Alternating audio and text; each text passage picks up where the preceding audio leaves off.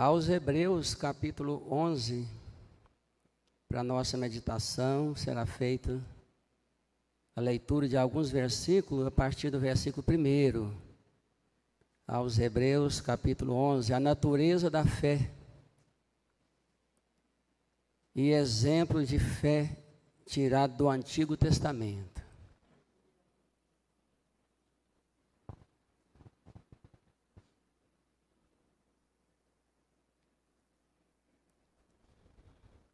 Louvado seja Deus. Ora, a fé é o firme fundamento das coisas que se esperam e a prova das coisas que se não vê. Porque por ela os antigos alcançaram testemunho. Pela fé, entendemos que os mundos, pela palavra de Deus, foram criados de maneira que aquilo que se vê não foi feito do que é aparente. Pela fé, Abel ofereceu a Deus maior sacrifício do que Caim, pelo qual alcançou testemunho de que era justo, dando Deus testemunho dos seus dons, e por ela, depois de morto, ainda fala. Pela fé, Enoque foi trasladado para não ver a morte, e não foi achado porque Deus o trasladara. Visto como antes da sua trasladação alcançou testemunho de que era, ou seja, de que agradara a Deus. Ora, sem fé é impossível agradar-lhe, porque é necessário que aquele que se aproxima de Deus creia que ele existe e que é galardoador dos que o buscam. Nos pode assentar, irmão. Nós vamos com a ajuda do Espírito Santo de Deus, vamos meditar um pouco na palavra do Senhor, que faz muito bem para a nossa vida.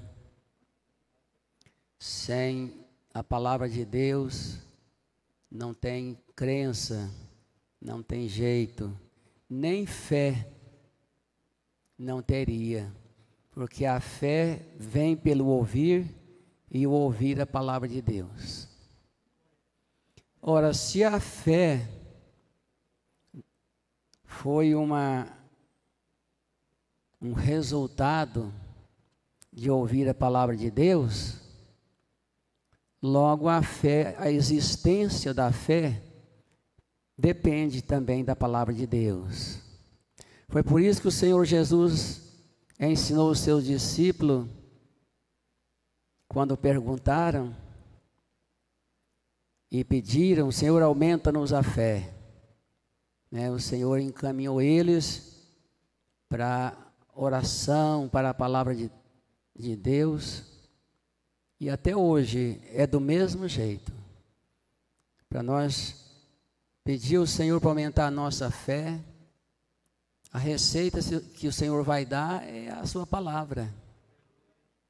Ele, pelo Espírito Santo, faz maravilhas. Melhora a nossa vida espiritual, ele faz maravilha. Mas a receita é essa.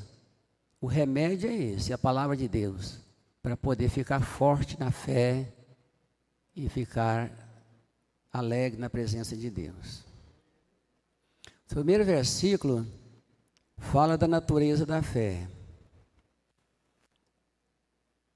Ora, a fé é o firme fundamento das coisas que se esperam e a prova das coisas que se não vê.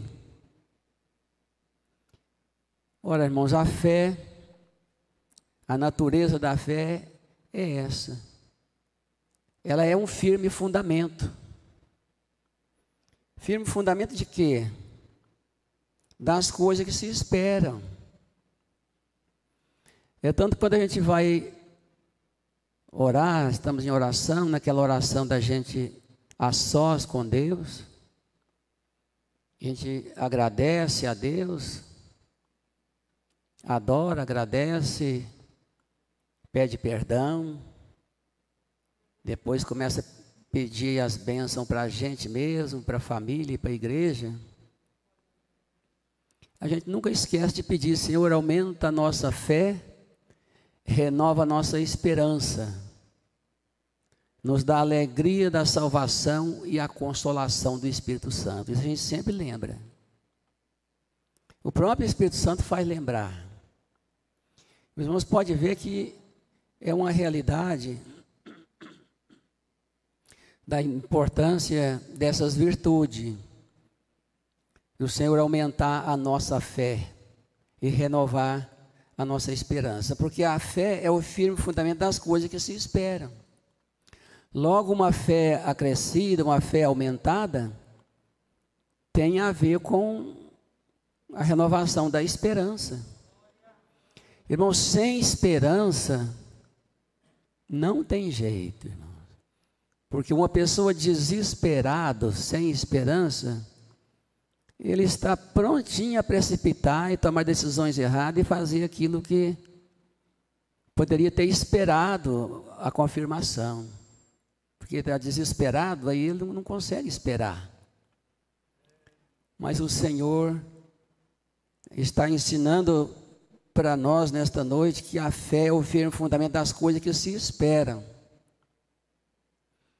E é a prova das coisas que se não vê. Veja bem a natureza da fé, o firme fundamento das coisas que espera e a prova das coisas que se não vê. Como que isso é importante?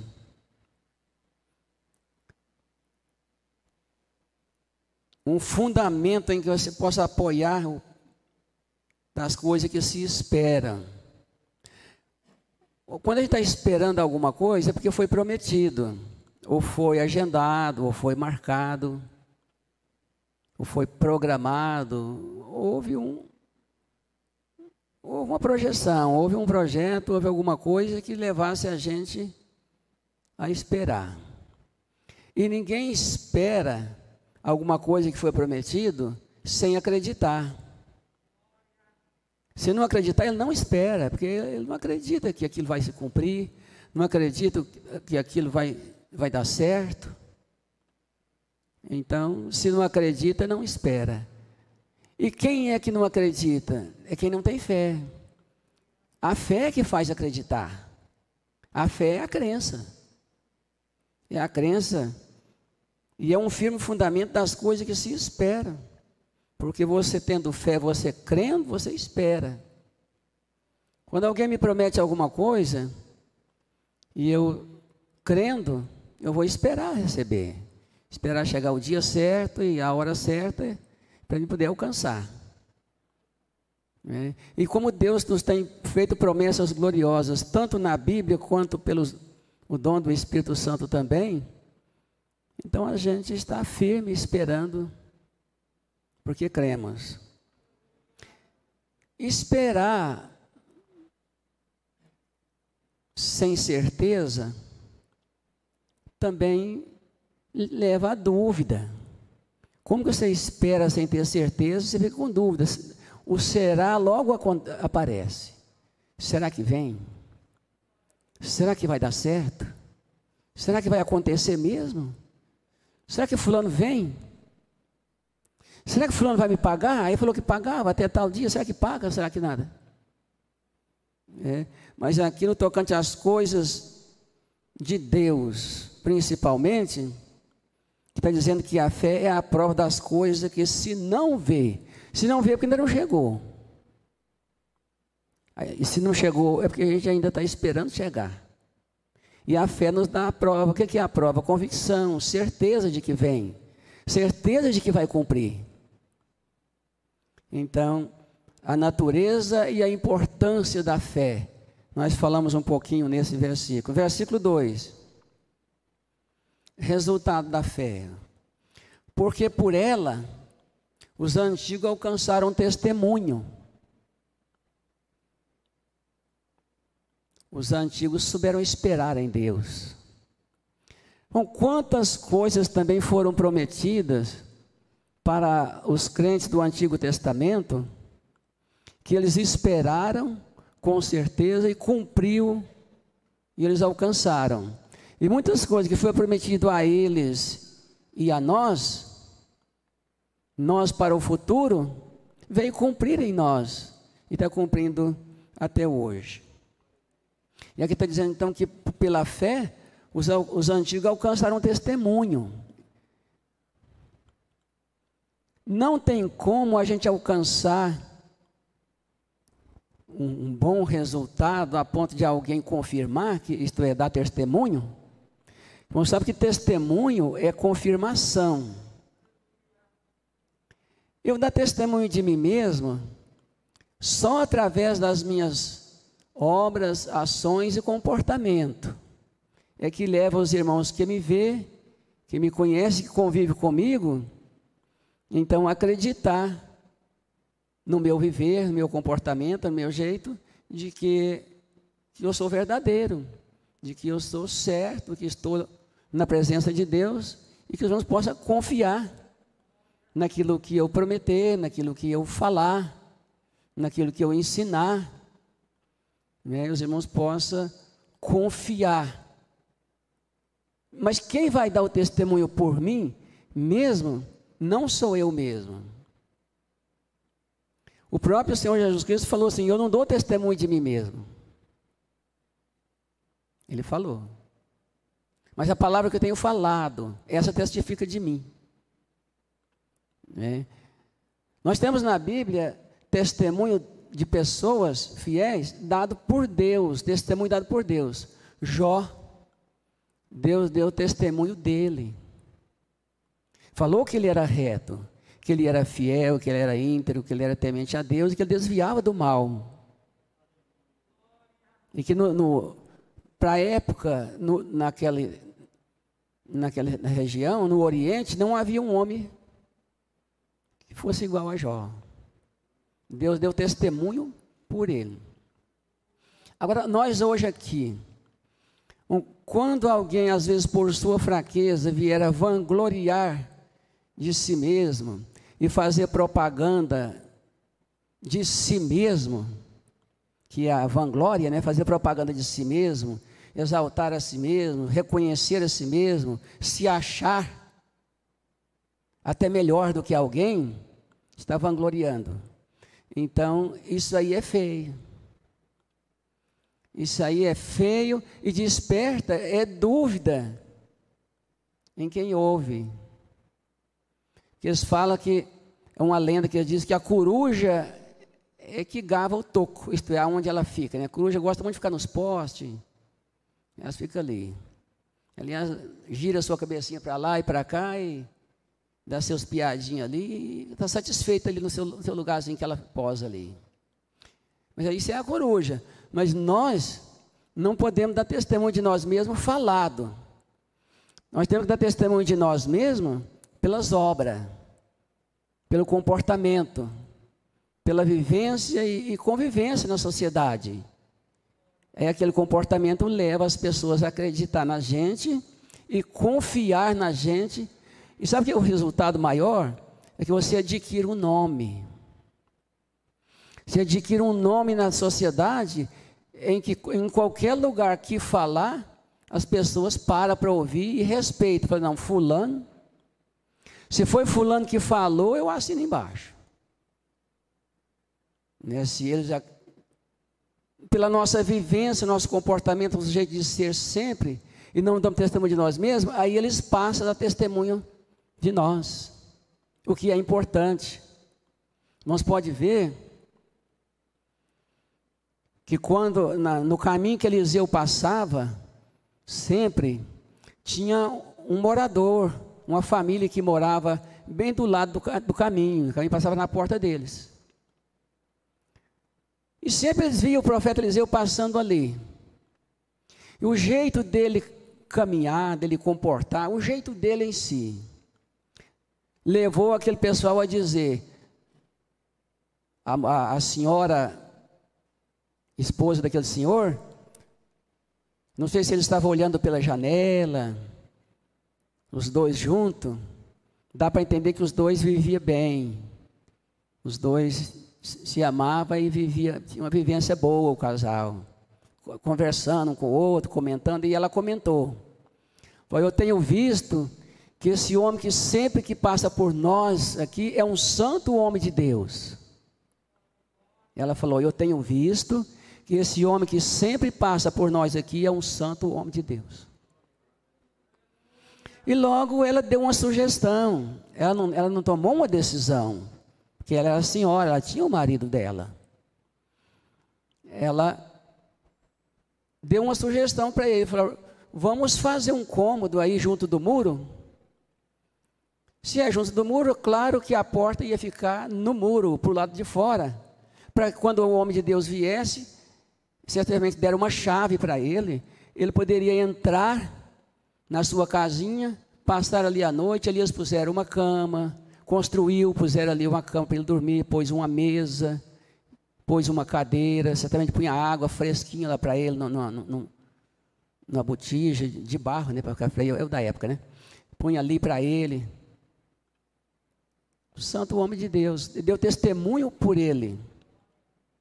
E mais tarde, ela pôde confirmar mais o marido dela, que ele era um santo homem de Deus, porque ele ressuscitou depois o filho dela. É.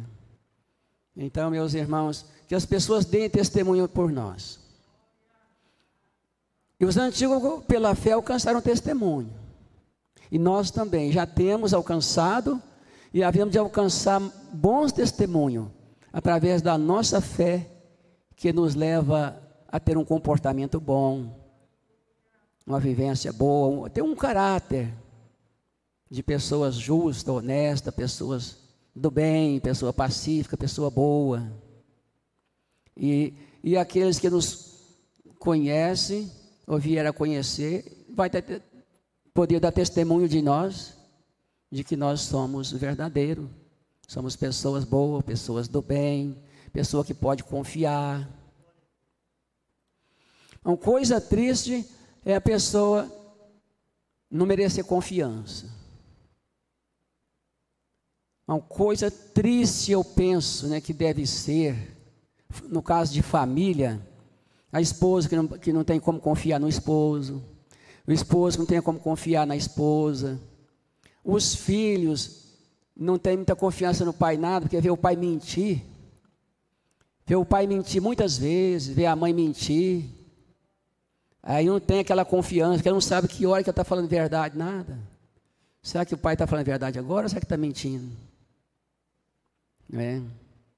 Então, é coisa muito triste. E muito triste também, irmãos, é a gente as pessoas no, do comércio, por exemplo, né? a pessoa do comércio não acreditar na gente, de não, nem querer vender para a gente a prazo, caso seja preciso. Cada pessoa é de um jeito, né? Mas eu vou me comprar a prazo só se não tiver jeito mesmo. Gosto de comprar é à vista. Se não tiver jeito, compra a prazo. Mas até enquanto der, à vista. Mas coisa difícil é você chegar num lugar que eles não querem te vender a prazo porque não confia. Você é conhecido demais e tudo, mas até por isso mesmo, por ser conhecido e saber que aquela pessoa não merece confiança, então procura fugir, o atendimento é ruim, vai sempre saindo, não, não, não, quer papo. Mas quando a gente pode gozar de uma confiança dos comerciantes, das autoridades da cidade, das famílias, do povo. Então, na igreja, irmãos, a gente poder ter, os irmãos poder confiar na gente. Uma pessoa perdeu isso aí, perdeu, perdeu tudo. Uma vez esteve aqui, na época evangelista, o nome de Oswaldo, Oswaldo Dias, lá de Palmeiras de Goiás, teve aqui. E, e muito bom para dar ensinamento, e aqui ele teve a oportunidade de ensinando, numa das frases que ele falou assim, ó, no homem só tem duas coisas que aproveita. O nome e a alma. O resto acaba tudo aqui. Mas para a vida aqui é o nome e a alma para a vida eterna. Uma pessoa perdeu o nome, perdeu tudo. Você tem que fazer tudo para ter o nome. E os antigos que nos trazem aqui, traz exemplo, porque por elas, né, pela fé, os antigos alcançaram testemunho. E nós vamos também continuar alcançando. Três. Pela fé entendemos que os mundos, pela palavra de Deus, foram criados. De maneira que aquilo que se vê não foi feito do que é aparente. Irmãos, eu sei que a gente precisa estudar muito. Quanto mais estudar, melhor. Quanto os irmãos puderem estudar, melhor. Ainda que às vezes até estuda muito, o emprego nem aparece depois, é tão difícil. Mas tem que estudar. Mas a filosofia brava, a forte filosofia mesmo, que a Bíblia até chama de a vã filosofia, não é todas que é, mas tem parte de filosofia que, que nega essa crença criacionista. Mas nós, os servos de Deus, que temos a Bíblia como nossa regra de fé e conduta, nossa fé é criacionista e não evolucionista. Nós cremos que Deus criou. Através da sua palavra, ele criou os céus e a terra e o mar e tudo que neles há. Nós cremos que Ele é o Criador e o mantenedor de todo o universo. Nossa fé é criacionista. Agora, na filosofia, na ciência bruta, nua e crua, eles não, não, não têm essa fé, essa crença, de, essa maneira que nós cremos. Para eles, é, tudo é na evolução. Começou com alguma coisinha e depois aquilo foi evoluindo até dar no que deu. Mas para nós não é assim. Para nós foi criado. Tudo é criado por Deus. E depois de criado, vai sendo reproduzido. Vai sendo reproduzido. E Deus deu sabedoria ao homem para, em muitas e muitas coisas, já criado por Deus, e diz a Bíblia que não há nada novo, irmão. Que tudo que tem já houve. Os irmãos já leram isso, né? Olha, não há nada novo. Tudo que existe já houve. Tudo que tem já houve. Tudo que há já houve. Mas Deus deu sabedoria ao homem que a ciência se multiplicará. E multiplicou. Deus dá sabedoria e inteligência para o homem também para fazer reproduzir, para ampliar, para melhorar, para mas a base de tudo é por Deus. É criado por Deus. Então é pela fé que nós entendemos que os mundos foram criados pela palavra de Deus. De maneira que aquilo que se vê não foi feito do que é aparente. Jamais o crente, o servo de Deus, vai discutir com alguém e querer explicação como que foi criado tudo que existe. Os irmãos não vai fazer isso, ninguém de nós vai fazer isso. É? Se alguém quiser criar esses assuntos, a gente está saindo, a gente não, não quer esse assunto, não. Nós, nós temos é fé. Nós cremos que os mundos foram criados pela palavra de Deus. Agora, a maneira que foi criado não importa. O importante é que foi criado e existe e funciona. E se funciona, tem um que cuida. Tem um que opera, tem um que faz funcionar. Bom, tudo que funciona tem que ter algo para fazer funcionar. O relógio ali, para ele trabalhar, precisa que haja energia. No caso, a bateria ou a pilha tem que ter. Para mim locomover, para mim falar, para mim viver, para mim andar, o meu coração tem que estar tá trabalhando bombeando sangue para que haja energia e calor e haja tudo que, que há em mim, o sangue tem que estar tá circulando. Então o coração tem que estar tá trabalhando ali, senão. Toda essa natureza, todos esses mundos que nós cremos que pela fé, pela fé nós cremos que foi criado pela palavra de Deus, funciona desse jeito aí, nos seus horários, sol, lua, tudo, funciona tudo nos seus horários, as estações do ano, tudo, porque tem um que dirige. Tem um que opera essa máquina. Tem um que faz funcionar. E quem é? Ninguém melhor do que os que eu fiz. O próprio Criador é que faz funcionar o universo. A Ele nós devemos a respiração e a vida, diz em Atos Apóstolos. A respiração e a vida nós devemos a Deus.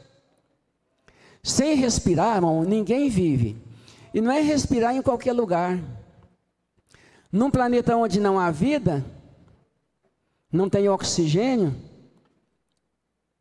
não adianta respirar lá sem o oxigênio, que não vive. Não vive mesmo. Nós vivemos, nós respiramos e vivemos porque o nosso ar tem oxigênio, tem vida. Aqui na Terra tem vida. Lá no outro planeta não tem vida. Então tem que levar oxigênio daqui. Quem, quem for lá, se for, se já foi, na Lua e Marte, como fala muito, né, o oxigênio vai daqui, que lá não tem.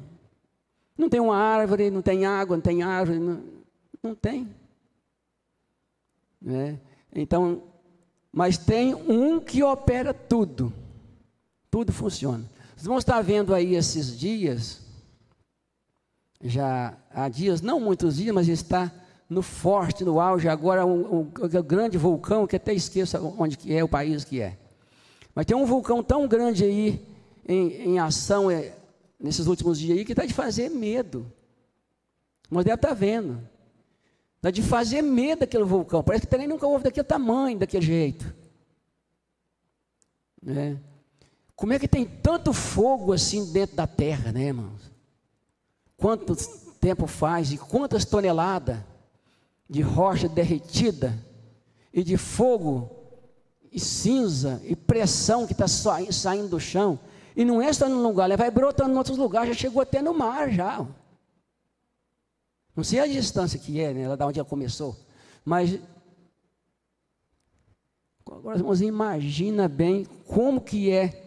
Por isso que existe calor, frio, calor. A Antártida, por exemplo, está lá o gelo, né? O miolo da terra é o puro fogo, né? O sol. O Gideon está lá em casa, eu falei com ele, Gideon, como é que nós fazemos uma coisa e outra? E como que o sol não acaba? Porque o tanto de energia, luz e calor que ele expede para o mundo inteiro, desde que, que o sol foi criado, como é que ele não diminuiu? Como é que ele, pois tudo tem, tem que repor, como é que não acaba? Pois não acaba. Está aí. É. E todo lugar que a gente for, dentro do horário certo, o sol está lá. No Japão, no seu horário certo, o sol está lá. Chega aqui, o sol está aqui. A lua, se, todo lugar que você for, a lua está lá. E a pessoa pega, viaja muitas horas de avião e some. Chega lá, a lua está lá também. Foi Deus que criou e conserva tudo. Isso foi feito do que não é aparente. E é pela fé que nós cremos que Deus criou. Man... Repito, encerra essa parte. A maneira que foi criado não importa. Importa que está aí para todo mundo ver, apalpar e está funcionando. É porque Deus existe. Foi Ele que fez e, e está dirigindo. verso 4. Pela fé, Abel ofereceu a Deus maior sacrifício do que Caim, pelo qual alcançou testemunho de que era justo, dando Deus testemunho dos seus dons. E por ela, isto é, pela fé, depois de morto, ainda fala. A fé de Abel ainda fala até hoje. Está falando agora. Porque Deus agradou do sacrifício de Abel que foi feito pela fé, e o de Caim não foi. O de Caim não foi feito pela fé. Caim poderia ter ido junto, poderia ter ido junto lá para o sacrifício que Abel estava oferecendo. Gente, a família tem que ser unida. Nós todos temos que ser unidos, somos uma família, né? Mas a, a família da casa, digo eu agora. Como é bonito uma família unida os irmãos unidos, a família toda bem unida, não ter diferença. Diferença que eu digo assim, que os antigos chamavam malquerência, né? de, de, de ficar cheio de coisa. Alguém diz assim: não, gente, vamos viver bem agora, vamos viver unido agora, vamos deixar as briguinhas só para o tempo do inventário, para o tempo da herança, se tiverem. Pois eu já digo aos irmãos que, embora tenha demais, mas que com nós, o servo de Deus, nem no tempo da herança, no tempo do inventário, no tempo da partilha, não pode haver briga entre os irmãos. Mas só vai haver briga na, na, no inventário, na partilha, caso houver esperteza. Se vier alguém esperto e querer passar a perna, querer dar o tombo no outro e querer. Né, aí vai, pode que seja que tenha problema, deixa, alguém às vezes não briga, mas chora, entristece, né, por causa de herança.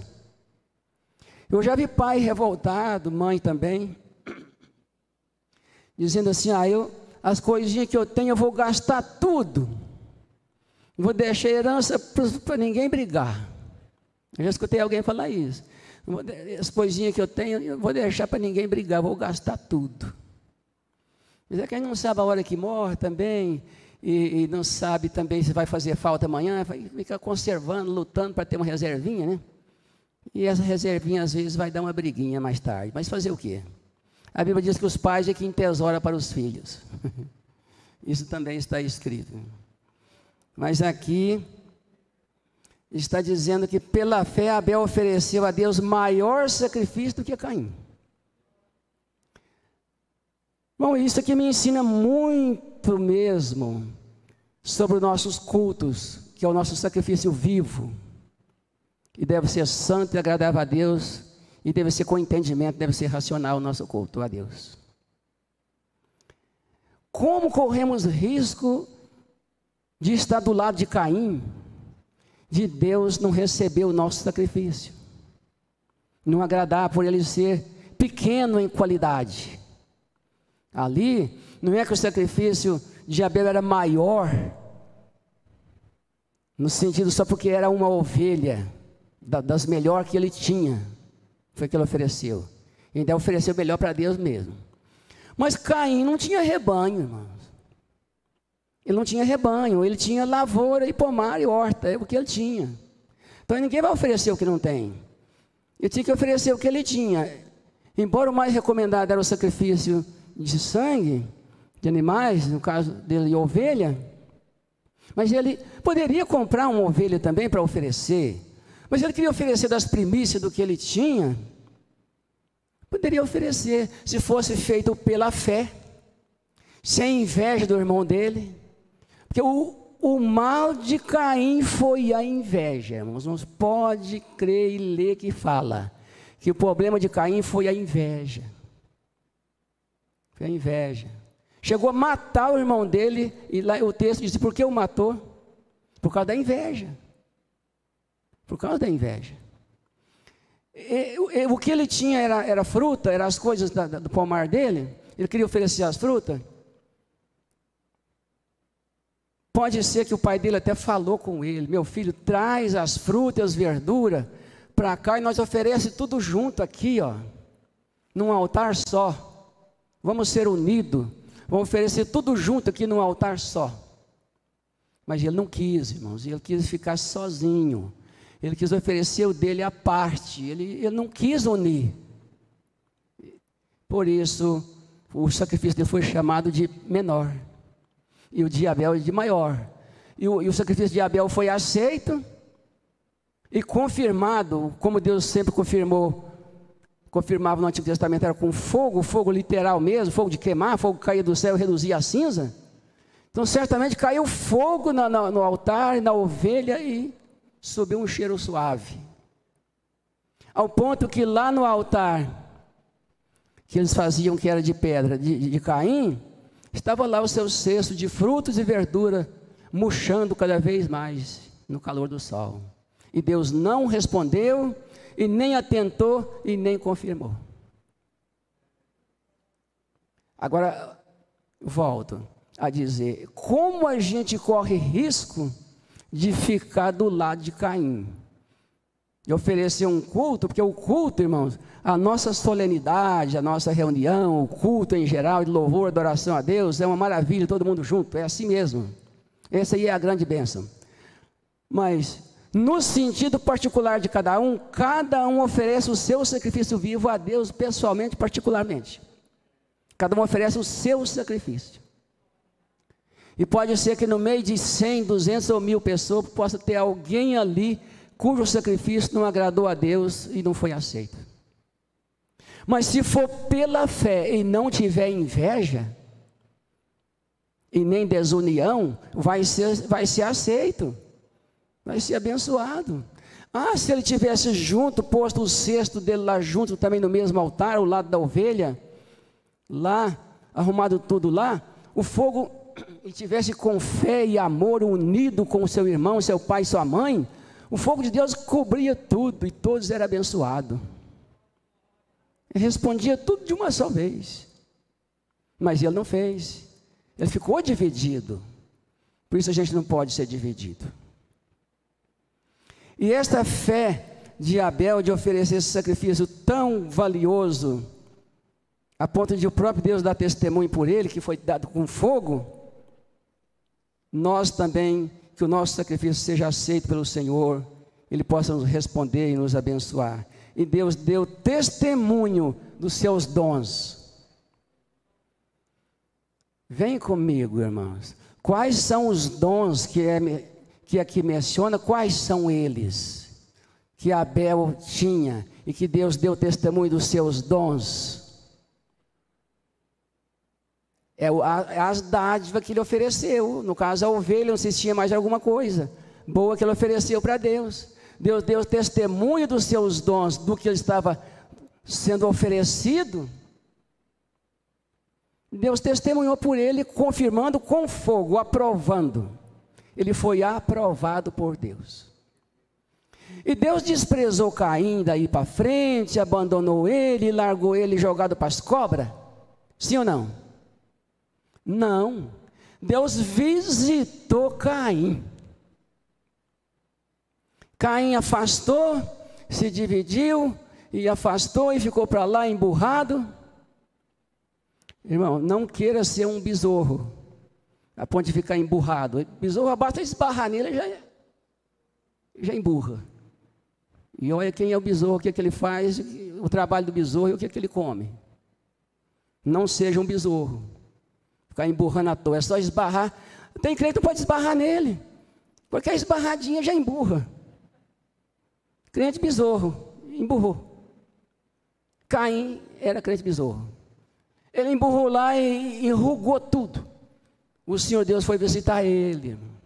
Irmão, pensa bem, irmão. Deus não era para ter ido visitar ele. Se fosse eu, pode ser que eu, eu não teria força de visitar, visitar ele. Mas ele visitou. Agora pensa, Deus visitando. Deus fazendo visita. Deus visitou a Caim, não no sentido de visitar com a sua presença poderosa, de renovar, não, mas de falar. Falou, Caim, por que descaiu o teu semblante? Se tu procederes bem, não seria aceito, mas se tu procederes mal, o pecado já à porta.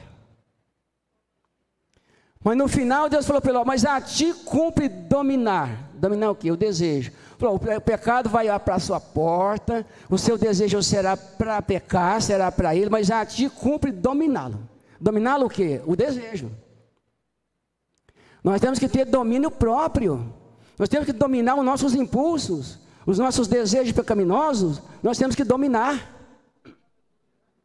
E o domínio próprio é um fruto do Espírito Santo. É um fruto do Espírito Santo.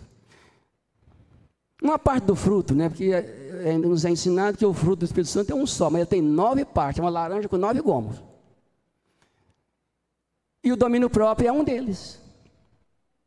Mas o domínio próprio depende da pessoa ser humilde. Que fruto não é uma coisa dada pronta, não. É produzido, é criado em nós. O Espírito Santo que produz o fruto em nós. Se nós der lugar para ele, andar com ele, viver com ele. Né? Não é comprado, não, não é buscado em fazenda nenhuma esse fruto. Esse fruto ele é gerado em nós. E sem a humildade, não tem como a pessoa se dominar a si mesmo a ponto de pedir perdão e de perdoar. E, e ser longânimo e esperar no Senhor. E deixar nas mãos de Deus tudo aquilo que, que, que você vê que, que só Deus resolve, você põe nas mãos do Senhor e tira a mão do meio. Mas não pede castigo para ninguém, não, irmãos. A gente nunca pode pedir castigo para ninguém, senão vira, senão vira crente feiticeiro. Quem pede castigo para os outros ou roga praga é porque é feiticeiro. Nós não podemos pedir castigo para ninguém. Pede a Deus para abençoar. Senhor, abençoa fulano de tal. Deus sabe como abençoar. Deus tem a bênção para aquela pessoa mas se ele não estiver preparado, ele vai preparar, através da minha e da sua oração, ele vai preparar aquela pessoa para receber a bênção. E nesse preparo, a pessoa acha o seu lugar. Só Deus pode nos fazer nós achar o nosso lugar. Agora, uma coisa eu digo aos irmãos: nunca espere a mão de Deus pesar em você para você entrar pelo caminho e achar o seu lugar. Procura o seu lugar, irmão antes que a mão de Deus venha pesar em você, para que você encaixe no lugar, no seu lugar. Que Deus tenha misericórdia de mim, que eu nunca venha esperar a mão de Deus pesar em mim, mas que eu esteja no meu lugar, que eu ache o meu lugar. E Deus então deu testemunho de que era justo, dando testemunho dos seus dons verso 5. Pela fé, Enoque foi trasladado para não ver a morte, e não foi achado. Porque Deus nos trasladara, visto que antes da sua trasladação alcançou testemunho de que agradara a Deus. Eu quero, com a força e a ajuda, a graça de Deus, quero me esforçar muito para agradar a Deus. Porque se eu conseguir agradar a Deus, fazer a vontade de Deus que é, que é, é justa, é boa, é agradável. E eu vou estar sendo muito abençoado por Deus. Se eu conseguir agradar a Deus, se eu alcançar testemunho de agradar a Deus, eu vou ser arrebatado. Pela fé, Enoque foi trasladado. Ele foi trasladado de um monte para outro, de um lugar para outro, assim, não. Ele foi arrebatado mesmo para o céu. Foi arrebatado para o céu. Pela fé, Enoque foi trasladado para não ver a morte. Não adianta alguém falar que as testemunhas do Apocalipse um é Enoque que não é. Porque lá eles vão ser mortos. E ele foi, ele foi trasladado para não ver a morte. Então ele não vai ver. Deus não vai voltar atrás. E também não existe a reencarnação. Pela fé, Enoque foi trasladado para não ver a morte. E não foi achado. Irmãos, quando fala que alguém não foi achado, é porque antes foi procurado. Como aqueles 40, não sei se é 40, a gente esquece o número. Aqueles discípulos de, de Elias, Embora Eliseu não concordou que eles procurassem, mas Jesus foi procurar três dias, a ver depois do arrebatamento de Elias, a ver se o Espírito de Deus não teria deixado Elias em algum monte, ele poderia estar morrendo de sede e de fome. Vamos procurar ele, o homem de Deus. Vamos procurar ele. Eliseu falou assim: não vai não, vocês não vão achar. Não vai não, vocês não vão achar. Não, nós vamos. E eles foi procurar e não achou. Três dias e não achou. Então não existe. Se não foi achado, é porque antes foi procurado. Enoque foi procurado. O povo da época, Enoque sumiu, Enoque sumiu. Não. Foi trasladado para não ver a morte, foi, ele foi procurado, mas não foi achado, porque Deus o trasladara, visto como antes da sua trasladação alcançou testemunho de que agradar a Deus. Para Enoque ter esse privilégio, de não ver a morte. A morte ninguém quer ver, eu não quero. Ninguém quer ver a morte. Deus nos livre da morte, Deus nos guarde. Não queremos ver a morte. Né? Para não ver, para ele alcançar esse privilégio de não ver a morte, ser trasladado para o céu, antes ele teve que alcançar testemunho de que agradara a Deus. E nós estamos esperando o maior evento da, da face da terra, da raça humana, o arrebatamento da igreja, a vinda de Jesus Cristo. E antes que ele venha nos arrebatar, nós temos que ter alcançado testemunho de que temos agradado ao Senhor nosso Deus. Irmãos, de tudo que você puder fazer na sua vida, esforça muito. Se faltar sabedoria, peça a Deus. Se faltar força, peça a Deus. Mas faz tudo que você puder, puder para renunciar tudo que Deus não, não agrada e fazer tudo que Deus agrada, para você agradar a Deus. 100% é claro, ninguém vai ser. A gente depende do perdão do Senhor. Mas de tudo aquilo que você puder fazer para agradar a Deus, esforça para fazer o máximo que você puder. Que Enoque foi trasladado para não ver a morte. Alcançou, visto como antes da sua trasladação, visto como antes da sua trasladação, alcançou testemunho de que agradara a Deus. Meus amados e queridos irmãos, somos irmãos em Cristo. Não há ninguém melhor do que ninguém.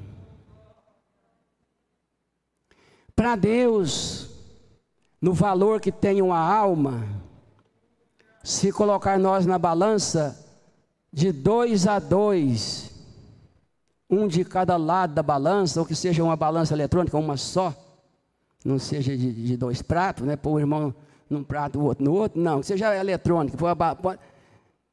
E o visor da balança vai mostrar a média, 60 quilos, né? A média, 60 quilos. Me coloca lá 60 quilos. Coloca um outro irmão bem mais alto do que eu, bem maior. E olha lá no visor, 60 quilos também. 60 quilos do mesmo jeito. Mas estou falando do valor da alma para Deus. Então, meus irmãos, não tem ninguém melhor do que ninguém. E outra coisa, para terminar, eu digo aos irmãos: não tem ninguém inútil na igreja. Não tem ninguém inútil na igreja. Todos são úteis. Cada um do seu jeito, cada um com o seu dom, cada um da sua maneira, ali, seja com cargo na igreja ou sem cargo na igreja, seja moreno, seja branco, seja novo, seja idoso, seja adolescente ou criança, todos somos úteis na igreja, todos, né? Cada um do seu jeito. Agora, tem uma coisa, irmãos, que a gente não pode esquecer que está escrito assim: ao que mais é dado, mais é exigido.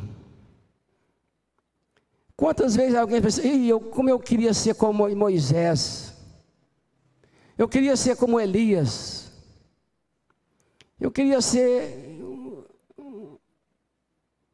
Davi, eu queria ser Samuel.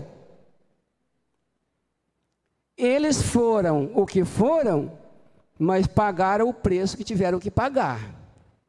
Talvez você não é aquilo que você pensa que deveria ser, que pode ser que você não dê conta de pagar o preço que tenha que pagar, isto é, porque o que mais é dado, mais é exigido. Então, seja o que você é mesmo. O próprio Deus falou dele mesmo: Eu sou o que sou. E nós devemos ser como Deus nos fez, como Deus nos criou, como Deus nos colocou nesse mundo ou na igreja, mas todos são úteis. Última frase. Eu quero ver os irmãos maior do que eu, ainda que não seja. E os irmãos queiram me ver maior do que os irmãos, ainda que não sou. Mas está escrito que nós devemos considerar os nossos irmãos superior a nós mesmos. Se eu sempre ver o irmão ou irmã maior e melhor do que eu, na minha, na minha ótica, eu vou ser humilde. Humilde para aprender, humilde e educado para tratar os irmãos. Né? E se os irmãos me verem assim também, irmãos vai ser humilde também, porque vai se considerar inferior a mim, irmãos vai ser humilde para conviver comigo, para poder falar comigo, e eu com os irmãos. E assim, a hora que o Senhor passar a régua sobre nós, a régua não para em nenhum, está tudo certinho. Embora nós achamos que, um é, que o irmão é maior do que eu. Não é. Mas se eu achar, é bom para mim, porque eu vou ficar humilde. E vou respeitar o irmão. Irmão, respeite o seu irmão respeite o idoso, respeite a criança, respeita o intelectual, respeita o analfabeto, respeita uma criança. Existe pelo mundo afora uma tendência que Deus não gosta, mas existe uma tendência em muitas pessoas desprezar os velhinhos. Fazer menos, rir dos velhinhos às vezes até que um velhinho faz até umas gracinhas mesmo, que volta muito ao tempo de criança, fala errado e, e age como uma criança, porque a idade está muita. Mas não critique os velhinhos, não ri, não ri dos velhinhos, mas respeite os velhinhos, mas respeite as crianças. Vamos respeitar uns aos outros e viver unido na presença do Senhor. Que Deus em Cristo Jesus nos abençoe e eu agradeço pela boa oportunidade. Me faz muito bem é, ter atenção dos irmãos quando posso falar na oportunidade que me é dada. Eu fico feliz e agradeço.